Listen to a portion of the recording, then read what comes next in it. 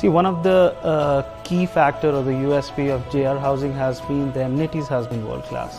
If you compare JR Housing with any other developer, even the top-notch developers, the amenities are world class. If you see uh, everything what they have developed in any layout per se, whether it's small or big, the scale doesn't matter. The the services and the work what they have done is amazing the equipment, whether it is gymnasium, whether it is swimming pool, whether it is uh, uh, a tennis court.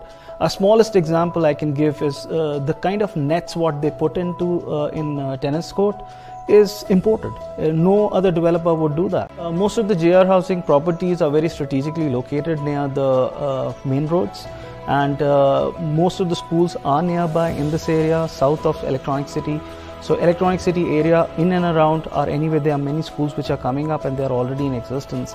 One of the biggest hospital chains uh, of Narayana, uh, the main Narayana city is here and other smaller hospitals are in and around. Being close to uh, Anekal and uh, Electronic City being strategically located in between, we get the best of both the worlds.